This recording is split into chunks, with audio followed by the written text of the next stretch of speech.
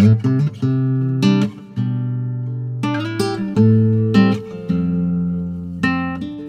whole property is around about 10 hectares. We've got a, a small stream, river, running along the bottom of the property. In the summer, it goes down to virtually nothing, but in the winter, we've got a raging torrent going down there.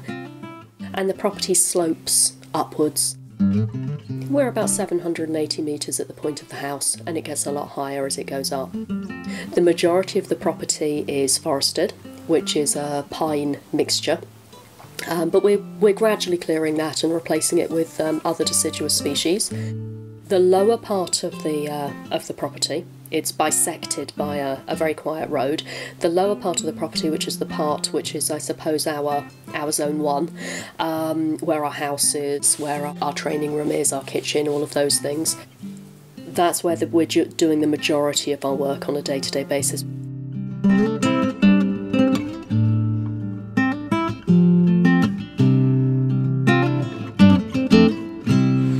We have the vegetable gardens, we have the animal animal shed. We have one, two, three and a half fields, I suppose, where we uh, where we grow vegetables or we or we walk the goats.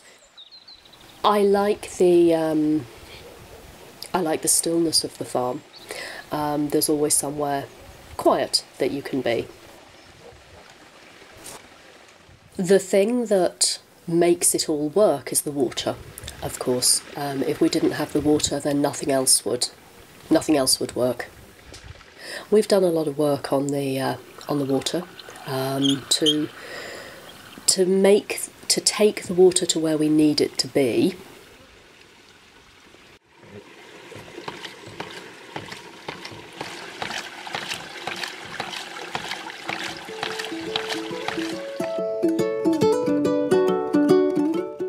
Since we first started accepting volunteers, we've probably had between seven and eight hundred visitors to the farm.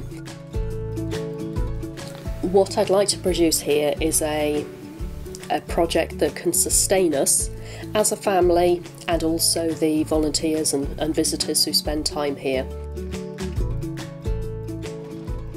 Sustain us in terms of um, our immediate needs, so food, water, heat, all of those sort of things.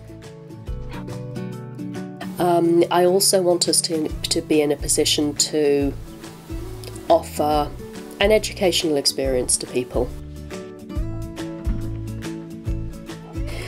But I think that the thing that we're trying to offer to people is the opportunity to discover a lifestyle which is different to what they may experience at home.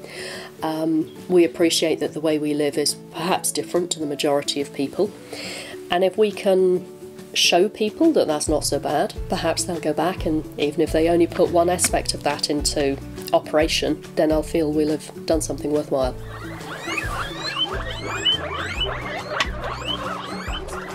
This project has many elements to investigate. Um, we're lucky in that we have uh, we have plentiful water, we have animals here, um, we have vegetables here, we have forestry here. It's an opportunity to experience perhaps a little bit of everything. This is a, a working project. We use permaculture as the framework um, for you know for how that how that is put together and how we live our lives, and we hope that if people come here they can they can learn a little bit about that to to take away. There's nothing quite so satisfying as to sit down to a, a meal at the end of a day's work and realise that virtually everything on the table has come from our own land, through our own labours, you know, and and we have got the power to, to, to create that.